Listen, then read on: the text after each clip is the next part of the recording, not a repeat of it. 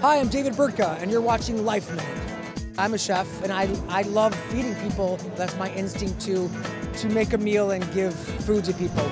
My kids eat everything. I posted a picture of my son the other day eating squid ink pasta. He looked like it was an, out of the thriller video. Squid ink in his teeth, trickling down his chin. It was disgusting. Harper, what are we having for dinner tonight?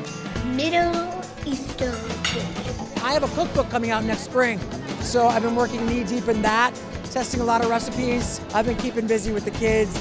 They really like uh, poke night. That's a really good, easy thing to do. Just a lot of assembling. God, they eat everything though. How is it? Makes me want to belly dance. Is Neil a good cook? Um, he's a good prep prep cook. He's good at uh, helping me prep and doing the dishes and stuff like that. But he's probably cooked me two meals in the 14 years that we've been together, and it's not turned out so great. We judge a family and a career. I mean, it's it's tough, but we make family life our priority. You know, we try to be there every night at five o'clock at the dinner table. Unplug, don't use your cell phones, and actually have a proper meal. Talk to each other, talk about our day, and that's the main thing. I mean, everything else can be going on, but we're there at dinner at 5 o'clock every night.